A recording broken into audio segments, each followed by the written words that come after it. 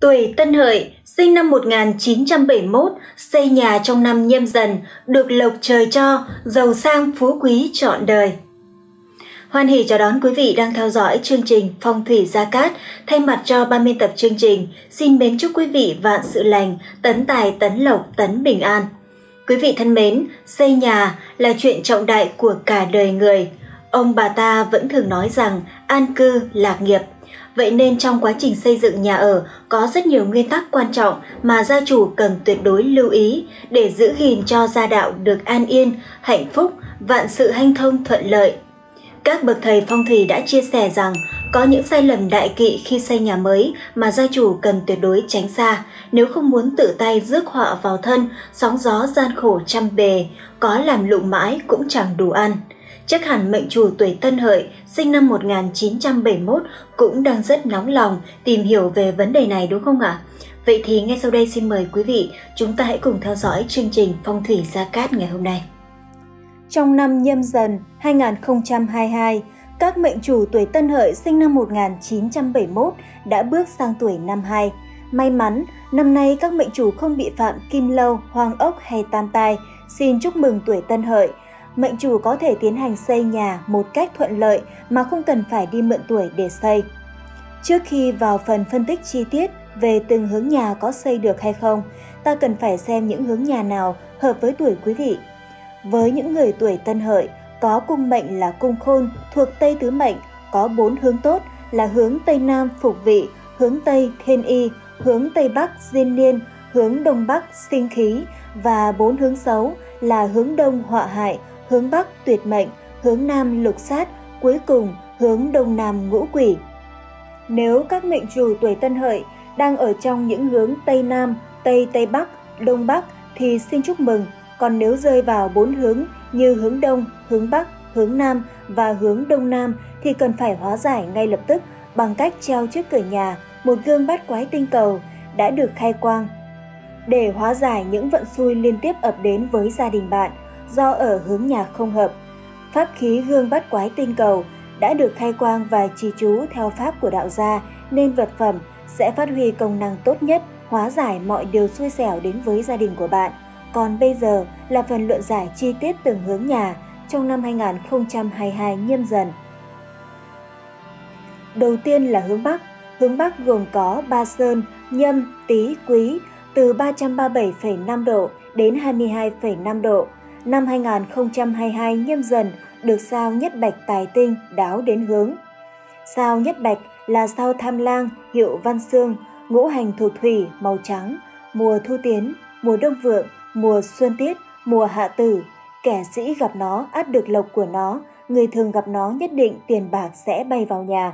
Đây là đệ nhất các thần, nhất bạch lại là quan tinh, nếu nó đương vượng, hình thế loan đầu bên ngoài, lại có thủy phóng quang thì khoa cử đỗ đạt, danh lừng bốn bể, sinh con trai thông minh trí tuệ. Nó mà suy tử thì hại vợ, không thọ, cuộc đời trôi nổi lênh đênh, mắc nhiều bệnh tật về huyết, thận hư, hoặc thành kẻ nghiện ngập trộm cướp. Nhất Bạch gặp phương Bắc là tị hòa, nếu vượng thì có lợi cho tài văn chương hoặc các công việc về văn, nếu suy thì dễ bị bệnh về máu, nghiện ngập hoặc chìm đắm trong tử sắc. Vậy nên với những nhà hướng Bắc, năm 2022 nhâm dần, hãy treo trước cửa pháp khí phong thủy, mai hoa phú quý, đồng thời tại phương vị này trong phòng khách cũng nên đặt một tháp văn xương kích vận để ngay sao nhất bạch giúp cho đường quan vận và học hành của những người trong gia đình được hanh thông may mắn. Hơn nữa, với những mệnh chủ tuổi tân hợi khi ở hướng Bắc thì không hợp hướng, rơi vào cung tuyệt mệnh nên rất xấu. Hướng tuyệt mệnh là một phương vị hung tinh trong phong thủy bát trạch, hướng về phía âm khí.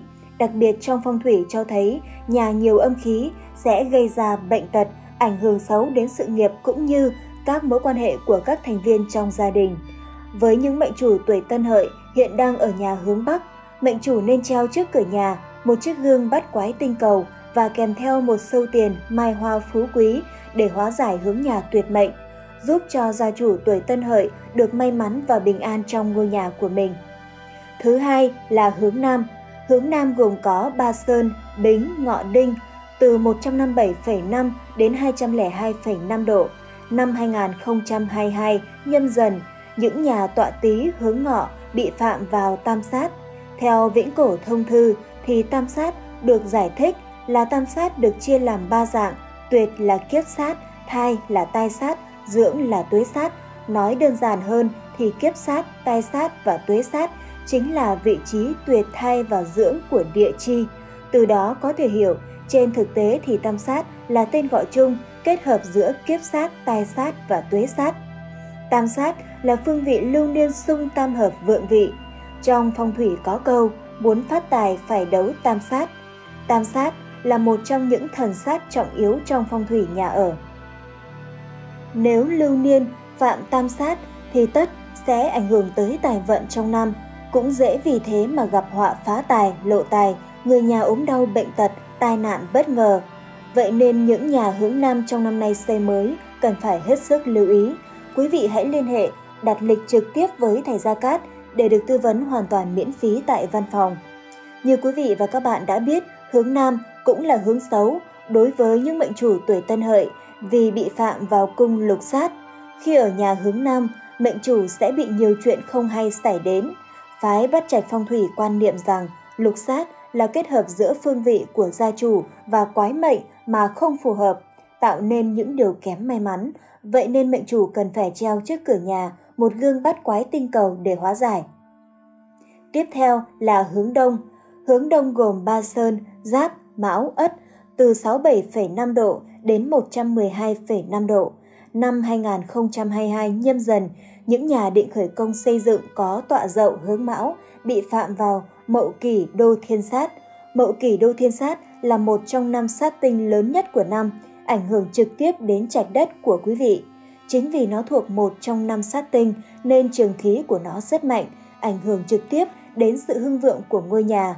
Vậy nên quý vị hãy sử dụng la bàn phong thủy, đo kỹ lưỡng rồi liên hệ trực tiếp với thầy Gia Cát để được tư vấn hoàn toàn miễn phí.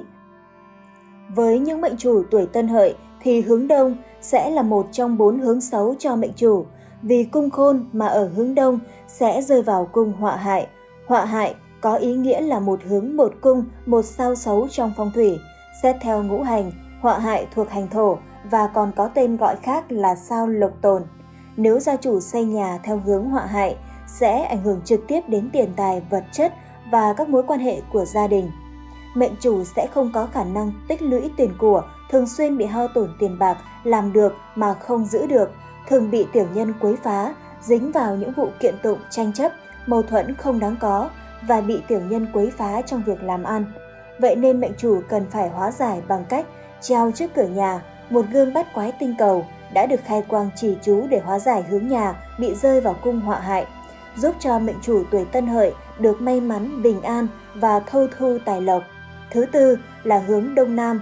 Hướng đông nam gồm có Ba Sơn, Thìn, Tốn Tỵ từ 112,5 đến 157,5 độ. Năm 2022 nhâm dần, những nhà tọa hợi hướng tỵ bị phạm vào tam sát không nên xây mới hay sửa chữa, còn những nhà tọa càn hướng tốn và tọa tuất hướng thìn thì xây mới bình thường. Nhưng để mọi việc hanh thông thuận lợi, quý vị hãy liên hệ trực tiếp với thầy phong thủy uy tín để được tư vấn về việc chọn tuổi động thổ, ngày giờ động thổ cũng như cách bố trí phong thủy hợp lý để mang lại may mắn và bình an nhất cho mình. Hơn nữa, những mệnh chủ tuổi tân hợi mà ở nhà hướng đông nam cũng không phải là hướng tốt, nó rơi vào hướng ngũ quỷ, một trong những hướng cực xấu cho gia chủ tuổi tân hợi khi ở trong nhà này. Bởi vì ngũ quỷ theo chiết tự có nghĩa là năm con quỷ gây ra sự bất lợi cho gia chủ cũng như các thành viên trong gia đình thông qua nhiều yếu tố khác nhau. Chính vì vậy quý vị cần treo trước cửa nhà một chiếc gương bắt quái tinh cầu để hóa giải hướng ngũ quỷ, giúp cho gia chủ ở trong nhà được may mắn và bình an. Thứ năm là hướng Tây. Hướng Tây gồm có Ba Sơn, Canh, Dậu Tân từ 247,5 đến 292,5 độ. Năm 2022 nhâm dần bị sao thất xích phá quân ngự trị. Thất xích là sao phá quân, còn được gọi là tặc tinh, một trong những hung tinh của huyền không phi tinh. Quý vị nên cẩn trọng khi lập tinh bàn chọn đất xem nhà. Sao thất xích nếu vượng thì phát về võ quyền, đinh tài đều vượng, nếu suy thì trong nhà xuất hiện trộm cướp hoặc có người chết trận bị giam cầm, gia đạo không yên, có thể vì hỏa tai mà tổn đinh hoặc xuất hiện người ham mê tử sắc. Thất xích là hung tinh, vì vậy nên tĩnh mà không nên động, động thì điều xấu càng nhiều, nhất là nhà ở đầu phố hay ngã ba thì nguy hại càng lớn. Bởi tính hung hiểm của sao thất xích nên khi quý vị xây dựng nhà cửa cũng cần phải hết sức dè chừng, kẻo ảnh hưởng trực tiếp tới sức khỏe và gia đạo của gia đình bạn. Trong trường hợp quý vị đang ở nhà hướng Tây thì cần phải treo trước cửa nhà pháp khí phong thủy, mai hoa phú quý để hóa giải. May mắn, hướng Tây là hướng tốt, đối với những gia chủ tuổi tân hợi là hướng thiên y. Thiên y là sao cự môn thuộc hành thổ, là cát tinh, không những là biểu hiện tốt về mọi mặt sức khỏe phòng bệnh mà còn làm cho gia đình hưng vượng về tài sản, nhà đất, vật nuôi. Nó thể hiện vai trò của nhà lương y như vị cứu tinh, cứu giúp cho gia chủ, giúp giảm trừ tai họa, tăng trưởng phúc đức. Vậy nên, để tăng cường sức khỏe cho gia chủ và hóa giải những xung sát thì cần treo trước cửa nhà một chiếc gương bát quái tinh cầu bằng gỗ đào. Thứ sáu là hướng Tây Bắc. Hướng Tây Bắc gồm có Ba Sơn, Tuất, Càn, Hợi từ 292,5 độ đến 337,5 độ. Năm 2022 nhâm dần có sao lục bạch tài tinh đáo đến hướng, lục bạch là sao vũ khúc là cát tinh. Khi lập tinh bàn nên hướng theo sao này để chọn được nhà đất tốt. Sao lục bạch nếu vượng thì quyền uy chấn động bốn phương làm võ tướng công trạng hiển hách, gia đình giàu có, nhiều nhân đinh. Nếu suy tử thì sống cô độc hoặc chết trong binh đao. Người nhà thường quá vợ, có nhiều quả phụ. Lục bạch gặp nhất bạch là sinh xuất, nếu vượng thì quan vận thuận lợi, hanh thông, tiền của dồi dào, con cái học hành đỗ đạt. Nếu suy thì quan lộc tuy không giảm, nhưng người nhà thường mắc chứng đau đầu hoặc gặp tai nạn sông nước. Như vậy tổng quan hướng Tây Bắc năm 2022 nhâm dần khá tốt, việc động thổ xây nhà lại càng hanh thông thuận lợi. Còn những người đang ở nhà hướng Tây Bắc thì cũng nên treo trước cửa một pháp khí phong thủy mai hoa phú quý để đón các tinh hóa giải hung tinh của năm. Những gia chủ tuổi tân hợi mà ở nhà hướng này thì được diên niên. Diên niên hay sao phúc đức tượng là sao vũ khúc thuộc hành kim là cát tinh, đại diện cho tuổi thọ, sự phát đạt tài chính và kéo dài để lại cho thế hệ mai sau. Nó còn được gọi là thần phúc đức, hơn nữa lại ở nhà Tây Trạch thì hợp, làm cho nhà thịnh vượng lên vì bản thân nó là kim, lại gặp hành kim nên sẽ tăng thêm phần thịnh vượng. Thứ bảy là hướng Đông Bắc. Hướng Đông Bắc gồm có Ba Sơn, Sửu, Cấn Dần từ 22,5 đến 67,5 độ. Năm 2022 nhâm dần, những nhà tọa thân, hướng dần bị phạm vào Thái Tuế và Mậu Kỷ Đô Thiên, những nhà tọa mùi hướng Sửu bị phạm vào Tam Sát. Đây là ba đại kỵ lớn khi xây nhà mà các thầy khuyên không nên động thổ xây mới. Trong trường hợp quý vị bắt buộc phải xây, hãy liên hệ trực tiếp với thầy Gia Cát để được tư vấn hóa giải hoàn toàn miễn phí. Những mệnh chủ tuổi tân hợi mà ở nhà hướng này thì lại được sinh khí. Sinh khí là sao tham lang tinh, có ngũ hành thuộc mộc là các tinh mang lại may mắn. Sinh khí mà ở hướng đông tứ trạch thì được hợp trạch vì thuộc tính ngũ hành của nó tương sinh đối với các hướng đó, giúp cho nhà cửa của gia chủ thịnh vượng lên. Vậy nên để kích hoạt vượng khí của ngôi nhà hướng đông bắc, các bậc thầy phong thủy khuyên các mệnh chủ nên treo trước cửa nhà một chiếc gương bắt quái tinh cầu bằng gỗ đào và một pháp khí phong thủy mai hoa phú quý để tăng cường vận khí cho những ngôi nhà hướng đông bắc và kích hoạt tài lộc cho gia chủ đang sống trong nhà. Cuối cùng là hướng Tây Nam. Hướng Tây Nam gồm có Ba Sơn, Mùi, Khôn Thân từ 202,5 đến 247,5 độ. Năm 2022 nhâm dần, những nhà tọa dần hướng thân bị phạm vào tuế phá, nhà tọa sửu hướng mùi bị phạm vào tam sát. Đây là hai sát tinh lớn hóa giải rất khó, vậy nên việc xây mới hoàn toàn thì không nên. Còn những nhà tọa cấn hướng khôn có thể động thổ xây mới trong năm 2022 này.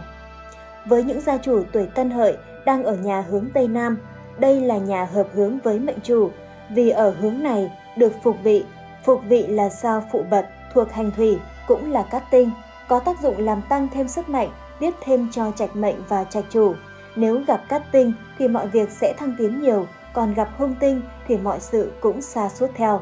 Vậy nên mệnh chủ cần treo trước cửa nhà một gương bát quái tinh cầu bằng gỗ đào và một pháp khí phong thủy chiêu tài mai hoa phú quý để tăng cường vận khí của ngôi nhà. Quý vị thân mến, trên đây là những chia sẻ về việc xây nhà và cách hóa giải phù hợp với các gia chủ tuổi Tân Hợi sinh năm 1971 trong năm nhâm dần năm 2022. Hy vọng rằng những nội dung chương trình ngày hôm nay đã chia sẻ giúp cho quý vị có được những thông tin hữu ích. Cảm ơn quý vị đã quan tâm theo dõi chương trình. Quý vị cũng đừng quên like, đăng ký và nhấn vào tín hiệu quả chuông để nhận thông báo mới nhất từ kênh quý vị nhé. Còn bây giờ thì Diễm Quỳnh xin mến chào và hẹn gặp lại.